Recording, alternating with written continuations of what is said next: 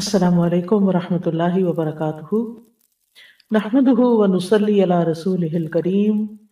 أما بعد فأعوذ بالله من الشيطان الرجيم. بسم الله الرحمن الرحيم.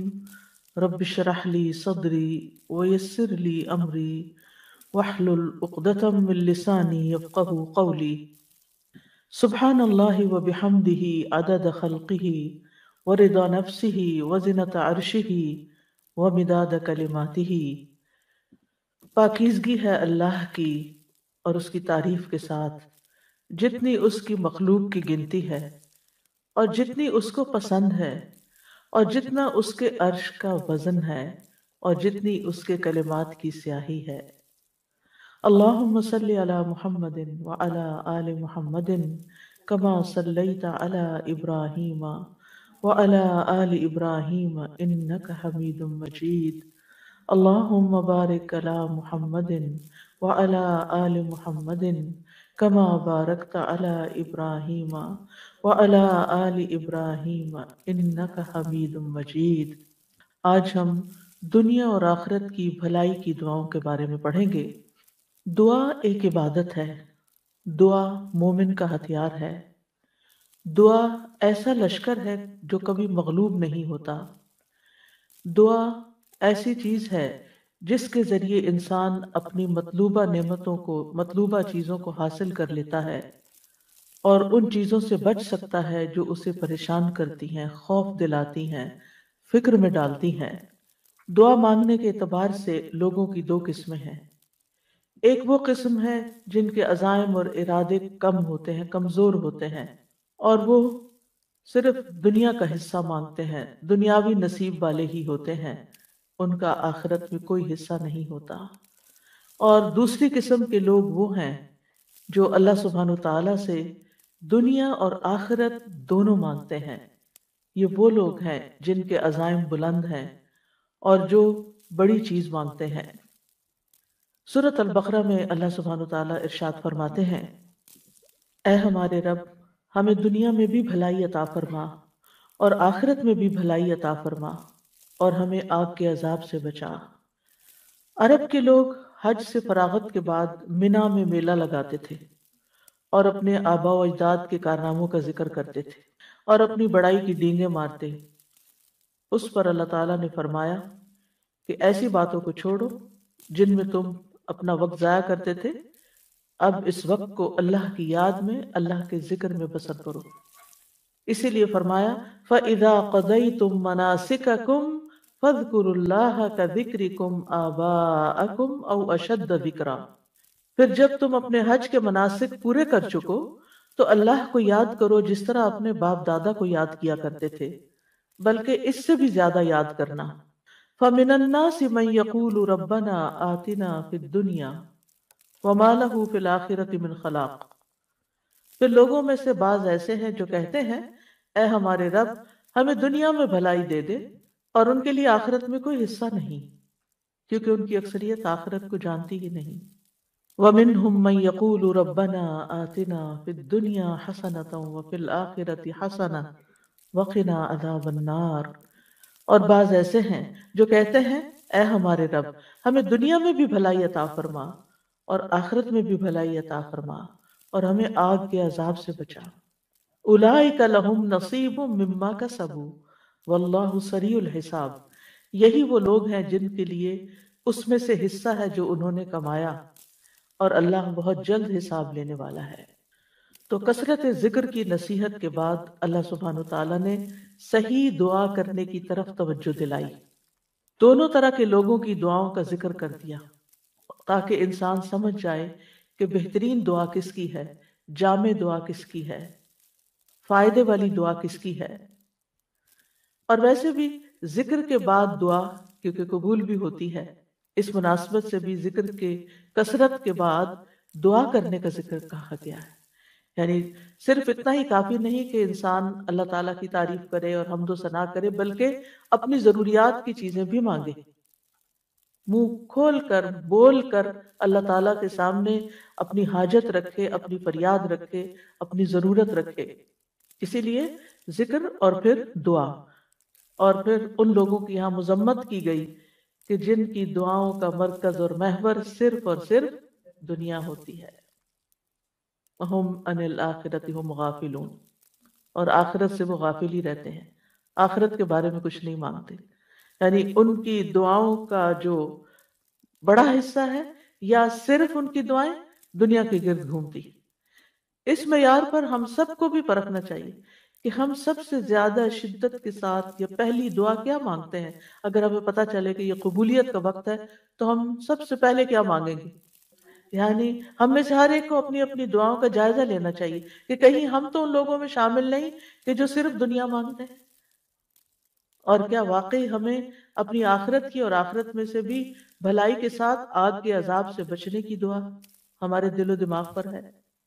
تو یہاں ان لوگوں کی تعریف کی گئی ہے کہ جو ایسی دعا کرتے ہیں کہ جس میں وہ اپنی دنیا کی خیر بھی مانگتے ہیں، اپنی آخرت کی خیر بھی مانگتے ہیں اور سب سے بڑے شر یعنی جہنم کی آگ اور جہنم کے عذاب سے بچنے کی دعا کرتے ہیں۔ تو اس میں دعا مانگنے کا ایک ادب اور سلیقہ بھی سکھا دیا گیا۔ آپ دیکھیے کہ یہاں پر صرف تین آیتیں ہیں۔ اور تین آیتوں کے اندر بہت بڑا مضمون بیان کر دیا گیا۔ تو فرمایا فَإِذَا قَضَيْتُمْ مَنَاسِكَكُمْ جب تم اپنے مناسک حج پورے کر چکو۔ حج پر بھی انسان کیوں جاتا ہے؟ اپنا فرض پورا کرنے کے لیے عبادت کرنے کے لیے اور انہی عبادتوں کا ایک حصہ دعا بھی ہے۔ یعنی ہم سب کے دل میں ہوتا ہے کہ ہم حج یا عمرے پر جائیں تو پہلا خیال کیا آتا ہے کہ وہاں جا کر دعائیں کریں گے، کیونکہ دعا بذات خود بھی عبادت ہے۔ تو جب تم اپنے حج کے مناسک پورے کر چکو اور سارے ریچولز تمہارے پورے ہو جائیں اور تم آرام سے بیٹھو، تو پھر یہ کہ تم اللہ سبحانہ تعالیٰ کا ذکر کرو۔ اور حج کے تمام مناسک کے دوران بھی ذکر کرنا چاہیے۔ اور جب مناسک پورے ہو جائیں، تو اس کے بعد بھی رک کر دعا کرنی چاہیے۔ جیسے آپ دیکھیں، طواف کے بعد کیا کرتے ہیں؟ دو رکت پڑھتے ہیں اور پھر آپ دعائیں کرتے ہیں۔ اسی طرح جب آپ کی صحیح ہو رہی ہوتی ہے تو اس میں بھی آپ جہاں جہاں رکتے ہیں صفا مروا پہ پھر دعائیں کرتے ہیں، اللہ کا ذکر کرتے ہیں اور دوران صحیح بھی۔ اور اسی طرح باقی منا میں، عرفات میں، ہر جگہ جو سب سے زیادہ جو چیز کی جاتی ہے، جو عبادت کی جاتی ہے، وہ دعا کی عبادت ہے۔ عرفہ میں آپ دیکھیے کہ نبی صلی اللہ علیہ وسلم نے ظہر اور اثر دونوں نمازوں کو اکٹھا کر دیا۔ یعنی قصر پڑی اور جمع پڑی یعنی گویا جو فریضہ ہے اس سے مختصر ترین وقت میں فارغ ہو گئے۔ پھر مختصر سا خطبہ دیا۔ اور باقی زوال شمس سے لے کر طلوع شمس تک یا غروب غروب سوری غروب شمس تک دعا ہی دعا کی۔ یعنی جو میجورٹی ٹائم تھا وقت کا ایک بہت بڑا حصہ دعائیں ہی دعائیں۔ اس سے بھی اندازہ کر سکتے ہیں آپ کہ دعا کی کیا اہمیت ہے ہماری زندگی میں اور ہمیں کتنی دعائیں کرنی چاہیے۔ اور پھر یہ کہ نسخ میں نہ صرف یہ کہ یہ چلو آتے ہیں، بلکہ جانور ذبح کرنا اور قربانی اور یہ تمام چیزیں بھی آتی ہیں۔ تو مراد یہ ہے کہ جب قربانی ہو جاتی ہے تو پھر ایک طرح سے حج کے سب تمام مناسب ادا ہو جاتے ہیں۔ اور اس وقت انسان اللہ کا ذکر کرے یعنی حج سے فارغ ہونے کے بعد مراد ہے۔ اسی طرح جب ہم نماز سے فارغ ہو جاتے ہیں تو آخر میں ہمارا، ہماری سب سے اہم چیز دعا ہی ہوتی ہے۔ اور اس ذکر سے جو یہاں پر کہا گیا ہے اس سے مراد ایک تو منا کے دنوں کی تقبیرات ہے کہ سب سے زیادہ ذکر ان کا ہونا چاہیے اللہ کی بڑائی بیان کرنی چاہیے۔ نماز کے بھی بعد سلام پھیر کر ہم سب سے پہلے کیا کہتے ہیں؟ اللہ اکبر۔ اسی طرح حج کے مناسب ادا کرنے کے بعد بھی اللہ اکبر۔ یعنی اگر اس عبادت کی ہمیں توفیق ہوئی ہے تو اس میں کسی غرور اور کسی بڑائی کی بات نہیں ہے بلکہ ساری توفیق اللہ ہی کی دی ہوئی ہے اور اللہ ہی کا ذکر ہے اللہ ہی کی یاد ہے۔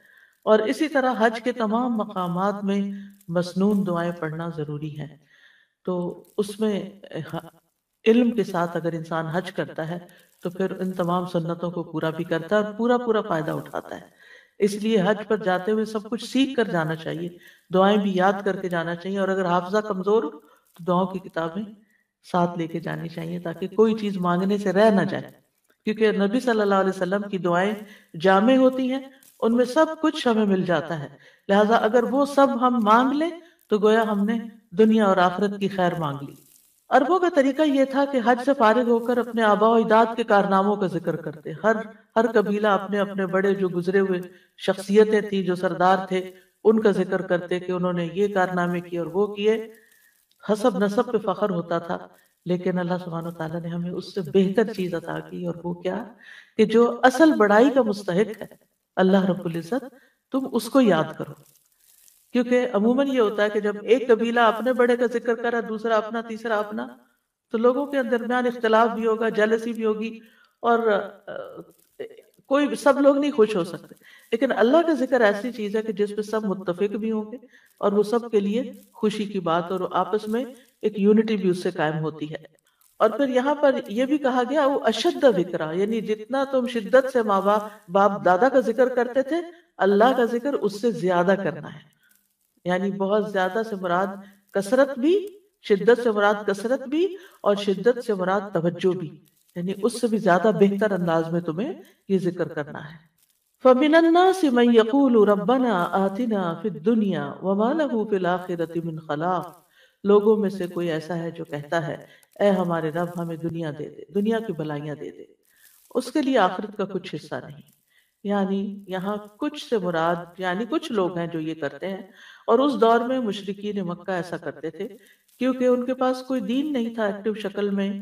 کہتے تو تھے، ہم دین ابراہیمی پر ہیں، لیکن وہ طور طریقے بھول چکے تھے۔ تو وہ آخرت کے تصور سے غافل تھے۔ آخرت کو نہیں مانتے تھے، یا آخرت کے حساب کتاب، یا آخرت کی جزا، سزا پر ان کا یقین نہیں تھا۔ وہ کہتے تھے، وما ہی اللہ حیات دنیا نموت و نحیا وما یغلقنا الا الدار کہ ہماری زندگی بس یہ دنیا کی زندگی ہے، ہم اسی میں جیتے مرتے ہیں اور زمانے کی جو رفتار ہوتی ہے، اس کے ساتھ یعنی وقت گزر جاتا ہے، جس کا وہ مر جاتا ہے، بات ختم۔ لیکن نبی صلی اللہ علیہ وسلم نے آ کر خاص طور پر پکی صورتوں کے اندر سب سے زیادہ جس عقیدے کو انسٹل کیا، وہ توحید اور آخرت پر ایمان کا تھا۔ اور اس طرح ان کو صرف دنیا نہیں بلکہ ہماری وہ زندگی جس میں ہمیں ہمیشہ رہنا ہے، اس کی بلائیاں مانگنے کا سبق سکھا دیا گیا۔ ابن عباس کہتے ہیں کہ کچھ عرب مواقف پہ یعنی عرفات یا حج کے مشاعر میں آتے اور کہتے، اے اللہ، اس سال کو بارش خوشحالی اور اچھی اولاد کے حصول کا سال بنا دے۔ آخرت کی بہتری سے متعلق وہ کوئی دعا نہیں کرتے تھے۔ تو اللہ تعالیٰ نے ان کے بارے میں یہ آیت نازل فرمائی۔ امام بغوی کہتے ہیں کہ اللہ نے اس سے مشرقین مراد لیے ہیں، وہ حج کے موقع پر اللہ تعالیٰ سے دنیا کے سوا کچھ نہیں مانگتے تھے۔ وہ کہتے تھے، یا اللہ، ہمیں بکریاں، اونٹ، گائے اور غلام عطا کر۔ ان کی دنیا یہی تھی۔ ایک آدمی کھڑا ہوتا اور کہتا، اے میرے رب، میرے باپ کا ایک بہت بڑا خیمہ تھا اور اس کے پاس بہت زیادہ مال تھا، تو مجھے بھی ویسا ہی دے جیسے اس کو دیا۔ یہ طریقہ تھا ان کی دعا کرنے کا۔ قطادہ کہتے ہیں، یہ ایسا بندہ ہے جس کی نیت صرف دنیا کی ہوتی ہے۔ یہ دنیا کے لیے خرچ کرتا ہے، اسی کے لیے عمل کرتا ہے اور اسی کے لیے تھکاوٹ اور مشقت اٹھاتا ہے۔ آخرت اس کے ذہن میں نہیں ہوتی۔ آخرت کی جزا اور آخرت کا فائدہ۔ وما له فی الاخرت من خلاق۔ ایسے لوگوں کا، جن کا مطمع نظر، جن کا گول اور جن کی توجہ اور دلچسپیوں کا سارا مرکز صرف دنیا ہے۔ ایسے لوگوں کے لیے پھر آخرت میں کچھ نہیں۔ جو آخرت کو بھول کر زندگی گزار رہے ہیں یعنی غفلت میں پڑے ہوئے ہیں، پھر ان کے لیے آخرت میں کچھ نہیں ہوگا۔ صرف دنیا مانگتے ہیں، دنیا چاہتے ہیں، دنیا کے لیے محنت کرتے ہیں، تو ان کو دنیا ہی ملے گی۔ اور اگر وہ دین کے کام بھی دنیا کمانے کے لیے کر رہے ہیں، تو بس صرف دنیا ہی ملے گی، آخرت نہیں ملے گی۔ قارون کے پاس بہت بڑی دولت تھی۔ اس کے خزانوں کا حال یہ تھا کہ خزانوں کی کنجیاں، خزانے نہیں، خزانے تو پتہ نہیں پھر کتنے ہوں گے۔ ان کی کنجیاں طاقتور آدمیوں کی ایک پوری جماعت مشکل سے اٹھا سکتی تھی۔ تو اس دولت کی وجہ سے قارون کے اندر فخر اور گھمنڈ پیدا ہو گیا تھا، تکبر پیدا ہو گیا تھا۔ تو اس وقت کچھ سالے بندوں نے اس کو یہی نصیحت کی تھی کہ دولت پر فخر نہ کرو، بلکہ اللہ نے تجھے جو دیا ہے، اس سے آخرت کا طالب بنو۔ یعنی اس سے اپنی دنیا نہیں آخرت کماؤ اور دنیا کا بھی حصہ نہ بھولو۔ یعنی دنیا میں بھی تمہیں جو ملنا ہے، مل جائے گا۔ دنیا سے، دنیا کا فائدہ بھی اٹھاؤ، لیکن اس دنیا سے اپنی آخرت کمانا نہ بھولو۔ اور عقل مند انسان وہی ہوتا ہے جو دنیا میں رہتے ہوئے دنیا کے ہر، دنیا کی ہر چیز سے اپنی آخرت کمانے کی فکر کرتا ہے۔ یعنی مومن جو ہوتا ہے، وہ صرف اکیلے دنیا کی فکر نہیں کرتا۔ مثلا اگر کسی کی اولاد بگڑ جاتی ہے تو وہ صرف یہ دعا نہیں کرتا کہ اللہ اس کو دنیا میں فلاں کامیابی عطا کر دے، بلکہ وہ اس کی دنیا سے زیادہ اس کی آخرت کی فکر کرتا ہے۔ اور جس کے سامنے آخرت نہیں ہوتی، وہ صرف دنیا کی بات کرتا ہے کہ اگر یہ بچے نے پڑھا نہیں یا بچہ صحیح نہیں ہوا، تو پھر اس کی دنیا خراب ہو جائے گی۔ اس کو کوئی پوچھے گا نہیں، اس کے کوئی کمانے کا ذریعہ نہیں ہوگا، اس اس یعنی اس کے لیے دنیا تنگ ہو جائے گی۔ اور اس وقت بالکل آخرت ان کے ذہن سے نکلی ہوئی ہوتی ہے کہ دنیا میں بگاڑ کا مقصد صرف دنیا کا بگڑنا نہیں ہے، بلکہ اس سے مراد آخرت کا بگاڑ بھی ہے۔ یعنی دونوں چیزیں انسان کی بگڑتی ہیں۔ تو مراد اس سے یہ ہے کہ انسان دنیا کی دعا بھی مانگے اور آخرت کی بھی مانگے۔ یعنی دنیا میں انسان کا بہت بڑا حصہ کیا ہے، جس میں، وہ حصہ ہے کہ جس سے وہ ابدی زندگی کو حاصل کر لیتا ہے۔ وَمِنْهُمْ مَنْ يَقُولُ رَبَّنَا آتِنَا فِي الدُّنْيَا حَسَنَا وَفِي الْآخِرَةِ حَسَنَا وَقِنَا عَذَابَ النَّارِ۔ اور ان لوگوں میں سے بعض ایسے ہیں جو بلند ارادوں والے ہیں، جو بڑی بات سوچتے جن کی سوچ بڑی ہے، جن کا ہورائزن بڑا ہے۔ وہ دنیا اور آخرت دونوں مانتے ہیں۔ وہ کہتے ہیں، ہمیں دنیا میں بھی بھلائی عطا کر اور آخرت میں بھی بھلائی عطا کر۔ وہ بھلائی جو دنیا میں وہ طلب کرتے ہیں۔ اس میں ہر وہ خیر شامل ہے جس کا ملنا بندے کو پسند ہوتا ہے۔ یعنی جو بھی آپ کی چاہت ہے دنیا کے اعتبار سے، جس میں خوشگوار، وسیع رزق حلال ہے، نیک بیوی یا نیک شوہر ہے، نیک اولاد جسے دیکھ کر آنکھیں ٹھنڈی ہوتی ہوں، آرام اور راحت کی زندگی، نفع مند علم، اعمال صالحہ کی توفیق یعنی جیسے انسان کو اچھے اچھے کام کرنے کا موقع مل جائے، صدقہ کرنے کا صلح رحمی کرنے کا۔ حضرت علی رضی اللہ عنہ کا کہتے ہیں کہ تم اپنی صحت اور اپنی قوت اور اپنی جوانی اور اپنی دولت کے معاملے میں یہ نہ بھولو کہ تم اس کے ذریعے سے آخرت چاہو۔ یعنی یہ سب چیزیں کیوں مانگو؟ کہ ہمیں یہ دولت، مال، صحت کیوں ملے؟ تاکہ ہم اس سے اپنی آخرت کمائیں۔ اور جہاں تک آخرت کا تعلق ہے تو اس سے مراد جنت ہے۔ للذین احسن الحسن وزیادہ۔ جن لوگوں نے نیکی کی، ان کے لیے نہایت اچھا بدلا اور کچھ زیادہ بھی ہے۔ قطادہ کہتے ہیں، اس سے مراد دنیا میں آفیت ملنا اور آخرت میں آفیت ملنا۔ یعنی وہ دنیا اور آخرت کی بھلائی کو دو لفظوں میں یعنی دنیا اور آخرت کی بھلائی کو ایک لفظ سے بیان کرتے ہیں اور وہ کیا ہے؟ آفیت یعنی جان میں، مال میں، اولاد میں، صحت میں، ہر چیز میں آفیت کہ انسان نقصان اور شر سے محفوظ ہو جائے۔ اور، اس میں کوئی حرج کی بات نہیں کہ انسان اپنی آخرت کے ساتھ ساتھ دنیا میں جو چیزیں وہ چاہتا ہے وہ اس کو نصیب ہوں اور اس میں مثلا یہ کہ وہ اپنی ویل بینگ کے بارے میں، اپنی صحت کے بارے میں، اپنی طاقت کے بارے میں دعا کرتا ہے تو کوئی حرج نہیں۔ لیکن وہ اس کے بیک آف مائنڈ ضرور یہ بات ہونی چاہیے کہ اللہ تعالیٰ جو بھی مجھے دے، میں اس سے پھر اپنی آخرت کے لیے اللہ کی رضا کے لیے زیادہ کام کر سکوں۔ اور پھر آپ دیکھیے کہ آخرت میں انسان کا یعنی جب سے انسان کی موت شروع ہوتی ہے اس سے لے کر رضا اللہ تعالیٰ کے دیدار تک جتنے بھی مرحلے ہیں اللہ تعالیٰ ان سب کو آسان کر دے۔ یعنی جب ہم آخرت کی بھلائی مانگے تو یہ ساری چیزیں ذہن میں ہوں کہ ہماری موت آسان ہو ہمارا قبر کا حساب آسان ہو، ہماری قبر کی زندگی نعیم اور راحت والی ہو۔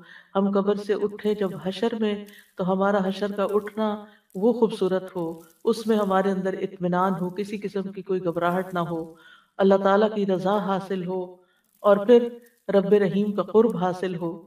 یہ تمام چیزیں اس میں آ جاتی ہیں۔ وقنا عذاب النار اور ہمیں آگ کے عذاب سے بچا۔ یعنی آگ یعنی ان اعمال سے ہماری حفاظت فرما اس دنیا میں جو ہمیں آگ کی طرف لے جانے والے ہوں اور ہمیں بخشش عطا فرما تاکہ ہم آگ سے یعنی ہمارے گناہ جو کوتاہیاں ہو جائیں، ان کو معاف کر دے تاکہ ہماری آخرت میں آگ سے چھٹکارا ہو سکے۔ اولائک لہم نصیب۔ ایسے لوگوں کو حصہ ملتا ہے کس سے؟ مما کا سب اس کے مطابق جو انہوں نے کمائی کی۔ یعنی دنیا کے لیے جو کوشش محنت کرو گے دنیا میں ملے گا اور آخرت کے لیے جتنی کوشش محنت کرو گے وہاں ملے گا۔ یعنی یہ ساتھ بتا دیا گیا۔ دعا اپنی جگہ ہے، لیکن ساتھ کوشش چاہیے۔ کیونکہ عام طور پر ہم ایک طرف ہو جاتے ہیں، یا صرف کوشش پہ فوکس کر دیتے ہیں، یا صرف دعا پہ فوکس کرتے ہیں۔ اور اس پہ۔ اب آپ دیکھیے کہ کتنی جامع ہے تین آیات۔ ذکر سے آغاز ہوا۔ دنیا اور آخرت کی دعا مانگنے کو کہا گیا، بھلائی کی دعا مانگنے کو کہا گیا، آگ کے عذاب سے بچنے کو کہا گیا، اور اس کے ساتھ ساتھ کوشش کی طرف توجہ دلائی گئی۔ اور واللہ سریع الحساب، اللہ بہت جلد حساب لینے والا ہے۔ یعنی اللہ سبحانہ تعالیٰ کے لیے کچھ بھی مشکل نہیں کہ وہ سارے بندوں کے ایک ایک عمل کا حساب کر دے، ذرے ذرے کا۔ وَمَن يَعْمَلْ مِثْقَالَ ذَرَّةٍ خَيْرًا يَرَى یعنی جہاں کوشش کی بات ہوئی تو پھر ذرے کے برابر بھی اگر کوئی نیکی کرتا ہے تو وہ اس کو دیکھ لے گا، اپنے عمال نامے میں پا لے گا۔ چھوٹی سے چھوٹی نیکی بھی۔ اور اگر گڑبڑ کی کوئی، غلط کام کیا، چھوٹی سے چھوٹی برائی بھی وہاں نظر آ جائے گی۔ تو اس لیے بہت ضروری ہے کہ انسان اس دعا کو اپنی زندگی کا حصہ بنا لے۔ یہ بہت ہی جامع اور کامل دعا ہے، جس میں دنیا اور آخرت کی ساری چیزیں آ جاتی ہیں۔ اور یہ دعا اس قابل ہے کہ اسے اپنی باقی دعاؤں پر ترجیح دی جائے۔ کل جیسے کسی نے سوال کیا تھا کہ بہت ساری دعائیں کٹھی ہو گئی ہیں اور بہت ساری چیزیں ہو گئی ہیں تو وہ ایک اوور ویلمنگ سچویشن ہو جاتی ہے تو پھر کیا کریں؟ ٹھیک ہے، ان چیزوں کو بھی اپنے اپنے وقت پر رکھ کے پلان کریں۔ لیکن اگر کم سے کم ٹائم ہے تو پھر کیا مانگ لیں؟ جامع دعا مانگ لیں، جس میں دنیا اور آخر سب کچھ کور ہو گیا، سب کچھ بیچ میں آ گیا۔ نبی صلی اللہ علیہ وسلم اکثر یہی دعا مانگا کرتے تھے اور اس کی ترغیب بھی دیتے تھے۔ یعنی آپ کی کچھ دعائیں تو وقت کے مواقع کے ساتھ ساتھ ہوتی تھی، کچھ دعائیں آپ نمازوں کے بعد مانگتے تھے، لیکن کچھ دعائیں آپ بہت کثرت سے مانگتے تھے۔ یعنی ان کا حصہ زیادہ ہوتا تھا۔ قطادوں نے انس رضی اللہ عنہ سے پوچھا کہ نبی صلی اللہ علیہ وسلم کون سی دعا کثرت سے مانگا کرتے تھے؟ انس رضی اللہ عنہ نے کہا حضرت انس کی یہ باتیں زیادہ اوتھینٹک اس لیے بھی ہیں کہ وہ آپ کے گھر میں آتے جاتے تھے اور آپ کے تمام امور اور معاملات کو ملاحظہ کرتے رہتے تھے۔ تو حضرت انس نے کہا آپ جو دعا کثرت سے مانگا کرتے تھے وہ یہ تھی اللہم آتنا فی الدنیا حسنا وفی الآخرت حسنا وقنا عذاب النار۔ انس رضی اللہ عنہ جب کوئی ایک دعا مانگنا چاہتے تو یہی دعا مانگتے تھے۔ یعنی جب اتنا ہی وقت ہو کہ آپ ایک دعا صرف مانگ سکیں۔ جیسے اذان اور اقامت کے بیچ میں دعا قبول ہوتی ہے، بعض امام صفوں میں کھڑے ہو جاتے ہیں، جب نمازی اس وقت دعا قبول ہوتی ہے تو پھر یہ کہ نماز شروع ہو جاتی، آپ یہ تھوڑی کہ نماز چھوڑ کے دعائیں کرنا شروع کر دیں۔ تو ایک چھوٹے سے وقت میں آپ فوراً ربنا آتنا فی الدنیا حسنتا وفی الاخرت حسنتا وقنا عذاب النار۔ اور خاص طور پر اس وقت جب انسان کو کچھ سمجھ نہیں آ رہی ہوتی مانگو کیا؟ میری بلائی کس میں ہے؟ تو پھر انسان بھلائی مانگ لے دنیا کی بھی اور آخرت کی بھی۔ اور یہ دنیا اور آخرت کی بھلائی کو جمع کرنے والے کلمات ہیں۔ انس بن مالک کہتے ہیں ان سے کہا گیا تمہارے بھائی بسرا سے آئے ہیں یعنی کچھ لوگ دوست وغیرہ ملنے کے لیے آئے ہیں۔ وہ اس وقت بسرا کے کونے میں رہتے تھے یعنی جس طرح آؤٹ سکرٹس میں رہتے ہیں تو ڈاؤن ٹاؤن سے سٹی سینٹر سے وہ ان کو ملنے کے لیے آئے۔ اس لیے آئے ہیں تاکہ آپ ان کے لیے اللہ سے دعا کریں۔ کیونکہ وہ صحابی تھے، طویل العمر تھے، اس وقت تک اکثر صحابہ فوت ہو چکے تھے۔ اور ظاہر ہے کہ صحابی بھی بہت جلیل القدر علم والے اور نبی صلی اللہ علیہ وسلم کی طویل صحبت پانے والے، قریب ترین صحابہ میں سے تھے۔ تو ان کے پاس آئے کہ وہ ہمارے لیے دعا کریں۔ انہوں نے کہا، اللہم اغفر لنا ورحمنا وآتنا فی الدنیا حسنا وفی الاخرت حسنا وقنا عذاب النار. لوگوں نے اس سے زیادہ دعا کی خواہش کی، کچھ اور دعا کریں۔ انہوں نے پھر یہی کہہ دیا۔ کہا کہ اگر تمہیں یہ مل گیا، یہ دعا قبول ہو گئی، تو تمہیں دنیا اور آخرت کی خیر مل گئی، ساری بلائی مل گئی۔ کچھ بھی نہیں چھوٹے گا پھر۔ بات ہی ختم۔ کتنا خوبصورت ہے ہمارا دین کہ جو ہمیں مختلف مواقع کی مناسبت سے بہترین چیزیں سکھا دیتا ہے، جس میں اتنا بڑا بڑا فائدہ ہے۔ یہ خزانوں کی کنجیاں ہیں۔ خزانے ہیں یہ، جن کی ہم قدر نہیں کرتے۔ ہم میں سے ہر ایک کو پتا یہ دعا ہے، لیکن کون کتنی تاکید سے مانگتا ہے؟ بھول جاتے ہم۔ ہمیں علم ہوتا ہے، ہمیں باتیں پتا ہوتی ہیں، لیکن پھر وہ آہستہ آہستہ ہمارے عمل سے نکل جاتی ہیں۔ ایک دفعہ سنتے ہیں، شروع کرتے ہیں، پھر کچھ دنوں میں کوئی اور چیز اوپر آ جاتی ہے، پھر وہ نکل جاتی ہے ایسی چیزوں کو پکڑ کے رکھنا چاہیے۔ کئی ایسے نوٹس لگا دینے چاہیے یا کہیں اپنے یادداشتوں میں لکھ لینا چاہیے کہ یہ مانگنے سے نہیں بھولنا۔ کیونکہ یہ مل گیا تو سبھی کچھ مل گیا۔ اور آپ دیکھیے کہ وقت کے ساتھ ساتھ زندگی کتنی مصروفیت کا شکار ہو گئی ہے۔ اور کتنے زیادہ کام ہو یعنی جتنی سہولتیں زیادہ ہو گئی ہیں، اتنی مصروفیت زیادہ بڑھ گئی۔ آج سے سو سال پہلے کا شخص شاید اتنا ٹینس نہ ہوتا ہو جتنا ہم ہر وقت ٹینس رہتے کیونکہ ایک کام ختم نہیں ہوتا اور ایک اور سام کرنے کا دھیان لگا رہتا ہے۔ اور بھاگم دوڑ لگی رہتی۔ اور اگر ہم کسی کرسی پر بھی بیٹھے ہوئے نا، تو دماغ ہمارا دوڑ رہا ہوتا ہے۔ نا یہ بھی کرنا یہ بھی کرنا یہ بھی کرنا ہے، وہ بھی ہونا ہے۔ تو ایسے میں پھر واقعی ذکر کے لیے بھی بازو کا ٹائم کم رہ جاتا ہے۔ اور دعاؤں کے لیے بھی، اور خاص طور پر بچوں والی مائیں، جو چھوٹے بچوں والی، وہ تو ہارڈلی نماز کے اندر یا نماز کے باہر کوئی دعائیں مانگ سکتی ہیں۔ کیونکہ ٹانگوں کے چمٹے میں ہوتے ہیں یا آگے آ کے لیٹ جاتے ہیں یا بڑے بھی ہو جائیں تو جا کے کچن میں کھڑے ہو جاتے ہیں اور آوازیں لگانے لگتے ہیں کہ جلدی آئیں یا یا پھر آپ کو یہ ہوتا ہے کہ اگر میں نے وقت پہ نہ اٹھی تو انہوں نے کچھ کام خراب کر دینا۔ آج کل خاص طور پہ افطار کے فوراً بعد مغرب ہوتی ہے۔ آپ کھجور کھاتے پانی پیتے نماز شروع کر شروع کر دیتے ہیں۔ اب آپ کا دل ہوتا ہے تھوڑا سا سکون سے نماز پڑھے لیکن سارے تو ایسے سکون سے نہیں پڑھتے۔ ان کو تو بھوک لگی ہوتی پھر آپ کو سرو کرنا ہوتا ہے۔ تو آپ کو سب کی ٹیک کیئر کرنی ہوتی۔ پھر اس وقت دل چاہتا ہے کہ کیا مانگ لیں؟ جلدی کچھ تو مانگے کیونکہ سارے دن کے روزے کے بعد ایک اس نماز کی کیفیت بھی بڑی اچھی ہوتی ہے۔ تو اس وقت یہ دعا مانگ کے اٹھ جائے لمبی نہ مانگے کہ گھر والے ناراض ہونے لگے تو بہت سے اوقات ایسے ہوتے ہیں کہ جس میں ہمارے پاس کوئی نیکی کا کام کرنے کا بہت مختصر سا وقفہ ہوتا ہے۔ ایسے اوقات کو استعمال کر لیا کریں۔ ایسی جامع دعاؤں کے ساتھ۔ پھر اسی طرح آفیت کی دعا مانگنا، یہ بھی دنیا اور آخرت کی بھلائیاں مانگنے میں سے ہے۔ حضرت انس سے روایت ہے کہ رسول اللہ صلی اللہ علیہ وسلم نے مسلمانوں میں سے ایک ایسے شخص کی، بیمار شخص کی عیادت کی جو لاغر ہو کر چوزے کی طرح ہو گیا تھا بالکل سکڑ سا گیا۔ تو رسول اللہ صلی اللہ علیہ وسلم نے اس سے فرمایا، کیا تم اللہ سے کسی چیز کی دعا کرتے تھے یا اس سے کچھ مانگا کرتے تھے؟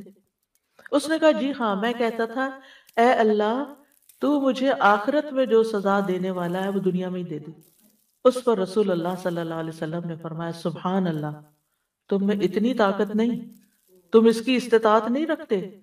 تم نے یہ کیوں نہ کہا، اللہم آتنا فی الدنیا حسنتا وفی الاخرت حسنا وقنا عذاب النار۔ یاد رکھیے یہ دعا نبی صلی اللہ علیہ وسلم سے اللہم کے ساتھ آتی ہے اور قرآن میں ربنا کے ساتھ۔ آتی ان دونوں میں سے جو بھی آپ، کیونکہ یہ نہ ہو کہ پھر آپ پوچھیں۔ یہ پڑھیں یا وہ پڑھیں، جو بھی آپ کا دل چاہے پڑھیں۔ پھر آپ صلی اللہ علیہ وسلم نے اس شخص کے لیے دعا کی جو اتنا کمزور ہو گیا تھا تو اللہ تعالیٰ نے اس کو شفا عطا کر دی۔ یہ دعا اس لحاظ سے بھی بڑی اہم ہے کہ رکن یمانی اور حجر اسود کے درمیان مانگی جاتی۔ چھوٹا، تھوڑا سا فاصلہ ہوتا ہے نا، رش تو الحمدللہ بڑا بھی ہو جاتا ہے۔ لیکن ویسے وہ تھوڑا سی، تھوڑی سی جگہ ہوتی۔ تو اس میں انسان اگر پوری توجہ کے ساتھ یہ دعا مانگ لیتا ہے تو گویا وہ سب کچھ مانگ لیتا ہے۔ اب دیکھیں ہمارے دین نے ہم سب کے لیے، ہم جیسے کمزور لوگوں کے لیے کتنی رعایت اور سہولت رکھی ہے۔ جن کے حافظے کمزور ہوں، جنہیں بہت ساری دعائیں یاد نہ ہوں، جو بہت کچھ نہ مانگ سکتے ہوں، وہ کم از کم اتنی دعا یاد کر کے چلے جائیں۔ یہ تو ہر حاجی پہ کر سکتا یعنی ان پڑھ سے ان پڑھ کمزور سے کمزور حافظے والا ایک یہ دعا سیکھ کے چلا جائے اور یہ بھی مانگتا رہے، تو گویا سبھی کچھ اس نے مانگ لیا۔ ابن رجب کہتے ہیں کہ سلف صالحین ایام تشریق میں اس دعا کو کثرت سے مانگنا پسند کرتے تھے یعنی جبکہ حج کے مناسب ختم ہو جاتے تھے اور یعنی منا کے دنوں کے جو باقی دن ہوتے ہیں۔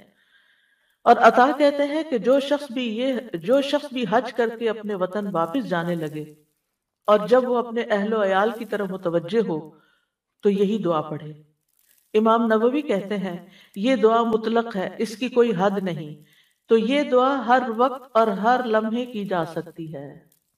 اٹھتے بیٹھتے چلتے پھرتے یہی مانگ سکتے ہیں۔ نماز میں، نماز کے علاوہ دیگر اوقات میں دعا کو شروع کرتے وقت، دعا کے اندر مریض کی شفا کے لیے بھی اور باقی مواقع پر بھی، قبولیت کے اوقات میں۔ یعنی ہر ہر موقع پر آپ یہ دعا پڑھ لیں۔ یعنی یہ دعا تو ہم میں سے ہر ایک کو لازمن زبانی یاد ہونی چاہیے تاکہ جب دل چاہے اس کو پڑھ لے۔ تو بہرحال جو بھی اس کو پڑھے گا اور جتنی آپ کوشش کریں گے، محنت کریں گے اور اس کے ساتھ ساتھ نیک اعمال کریں گے، اللہ تعالیٰ دعائیں سنے گا۔ اور پھر آپ دیکھیے کہ اس سے یہ بھی پتہ چلتا ہے کہ اللہ تعالیٰ ہر ایک کی سنتا ہے۔ من الناس من یقول صرف دنیا مانگتا اور کوئی صرف دنیا اور آخر دونوں مانگتا، من الناس، لوگوں میں سے، یہ نہیں کہا مومنوں میں سے۔ جو بھی مانگے گا، اس کو ملے گا۔ لیکن آخرت کی بلائیاں تو جو آخرت پر ایمان رکھتا ہے، اسی کو ہی نصیب ہوگی بہرحال، اللہ سبحانہ تعالی بندوں سے جلد حساب لینے والا ہے اور یعنی کہ قیامت کے دن بیک وقت وہ سب سے حساب لے سکتا ہے۔ اللہ کی قدرت بہت بڑی ہے اور دنیا میں بھی اس کو بندوں کا حساب لیتے ہوئے دیر نہیں لگتی۔ اس لیے ہر موقع پر، ہر تکلیف کے موقع پر اسی کی طرف پلٹنا چاہیے۔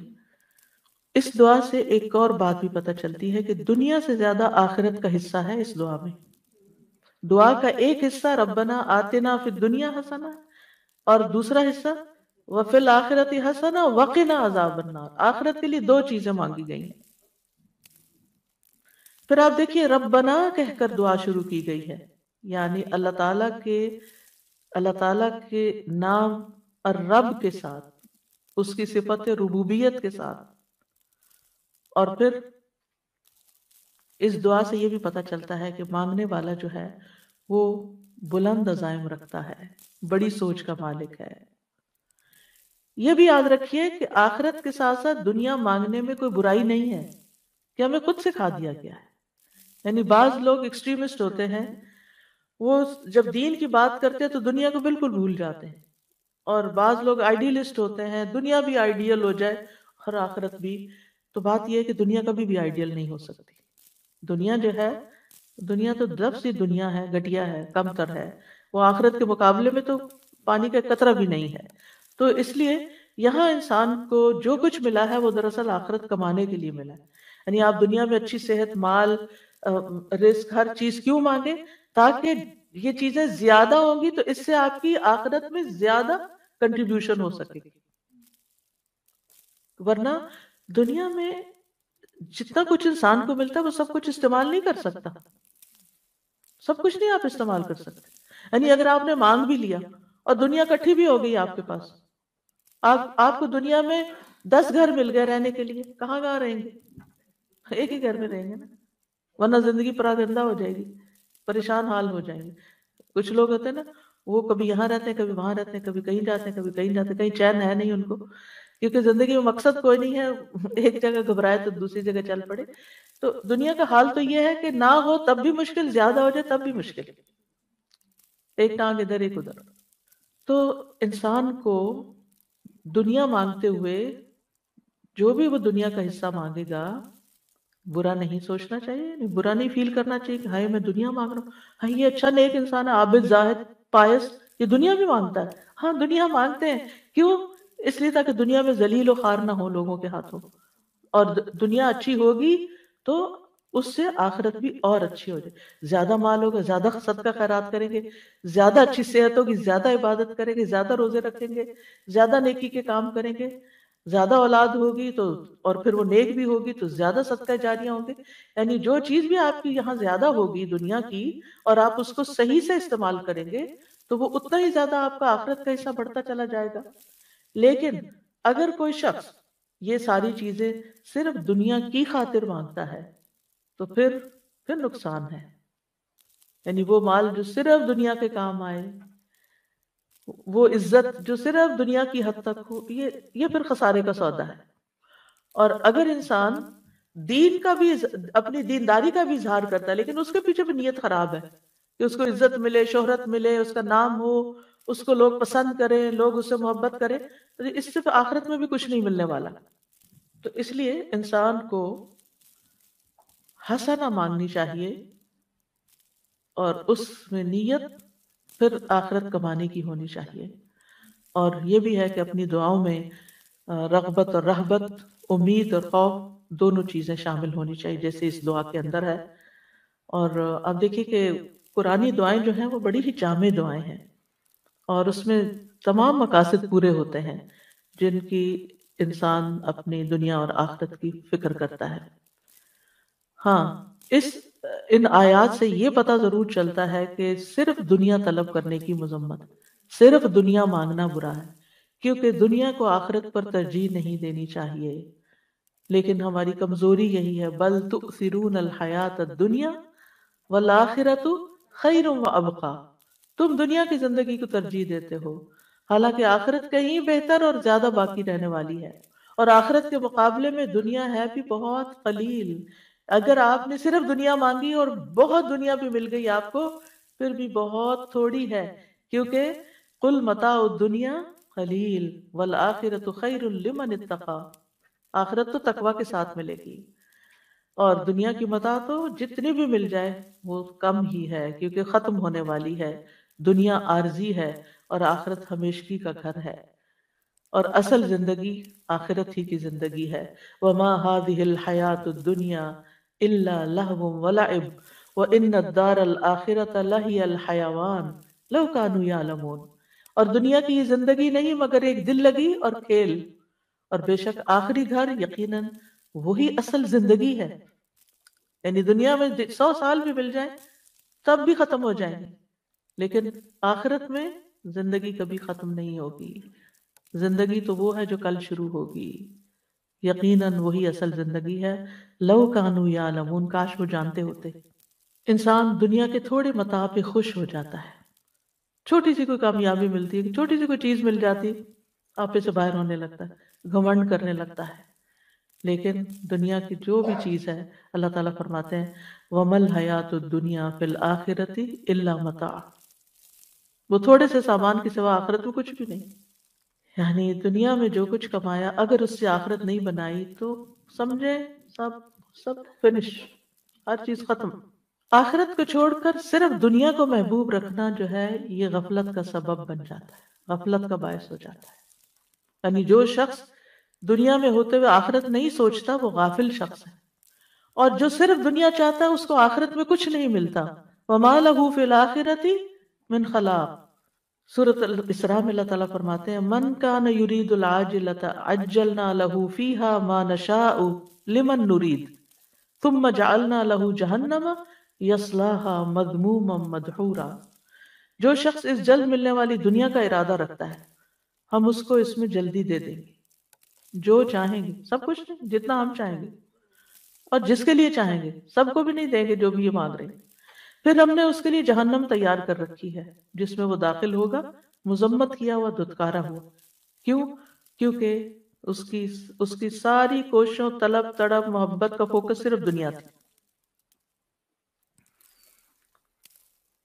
تو دنیاوی غرض سے اگر کوئی شخص عمل کرتا ہے، نیک عمل بھی چاہے کرے، لیکن دنیا حاصل کرنے کے لیے، تو ایسے شخص کو آخرت میں کچھ حصہ نہیں ملے گا۔